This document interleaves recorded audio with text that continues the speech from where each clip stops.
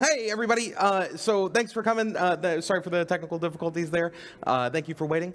Uh, so I'm Zack. I'm one of the original engineers on the Istio project back at Google. These days, I work at a company called Tetrate, helping bring service mesh to, to enterprise everywhere. Uh, I also help write the security standards for microservice security for the U.S. federal government. So a couple different hats. Um, so first off, uh, Craig already mentioned, but hey, some exciting news for the conference. Uh, will finally be part of the CNCF very soon, we hope. Uh, we're going through the, the submission process. We have a sponsor, uh, so that's kind of progressing on. We're super, super excited as a community, so that's kind of the first thing. And so it's not, not quite as boring over here as it's been in, in Linkerd land. So one of the things uh, that I kind of want to talk about is something that was kind of core to why we started Tetrate, which is I want the service mesh everywhere. Everywhere, everywhere. So obviously, you know, we're focusing on Kubernetes today. It is KubeCon. The service mesh was built there. It's, it's Kubernetes native, and that's where we see a lot of bread and butter usage of the mesh. But that's not the totality of our infrastructure. And in fact, for most of the people that I talk to, the most important applications that they run in their infrastructure isn't even being run on Kubernetes yet. They want it to be, but we're not there, right?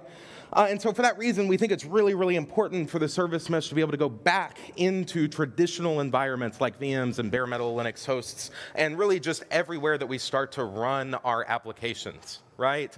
Uh, and we even want to go into kind of new territory where we haven't been traditionally running these kinds of technologies, uh, pushing uh, functionality in the mesh out to the edge, right? Stuff like partnering with ARM to provide ARM builds of Istio and Envoy help enable this, but the big question is why? Right? So like, sir, you know, we have ways to do traffic management and security and observability in our traditional infrastructure. We have the service mesh to do it in our modern infrastructure. So why does it really matter if we start to bring the service mesh everywhere, right? Uh, and this is something that I talk about a lot in some of the papers that I help write uh, with the government. And the idea is basically that we want to start to be able to build a platform that provides a consistent security baseline for all of our applications. And the service mesh is an incredibly powerful tool for doing that.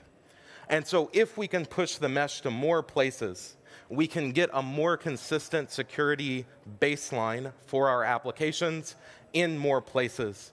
And it becomes easier and more consistent for us to operate our infrastructure safely and securely. So I want to just real quick leave you with a couple of kind of key ideas that I use for thinking about the service mesh uh, that kind of bring in this security background, right? So one is this idea that Envoy and the sidecar generally can become this general policy enforcement point. And when I say policy, that can be traffic, that can be rate limiting, that can be security things, right?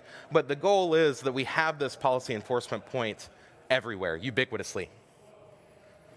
With that, the, the service mesh can become our security kernel. This is the kernel from the, the 1970s uh, you know, security literature. That's the kernel that we get the, the operating system kernel from, right? It becomes the modern kernel for our, cloud, for our distributed systems providing critical runtime security for them. And we want that, again, to be across the entire infrastructure, not only in Kubernetes.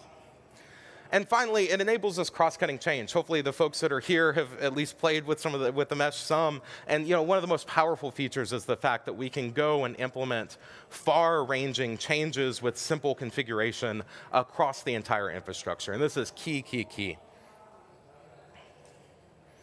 And if we do all of that, if we push the service mesh everywhere, if we start to use it as the strong security baseline, as a policy enforcement point, as the security kernel, then you know I believe the outcome is that we get a more safe, efficient, and reliable infrastructure for us to all operate on. And uh, I think at the end of the day, that's exactly what we want. I, you know, I think William summed it up very uh, well right? We want it to be simple. We want things to be easy to operate and normal. Uh, and I think the service mesh is an incredibly powerful tool to be able to do that. And that's all I got for you today. I didn't do any, uh, I didn't have any karaoke, unlike Mr. Box, uh, but I'm looking forward to his renditions tomorrow. Alrighty, thanks everybody.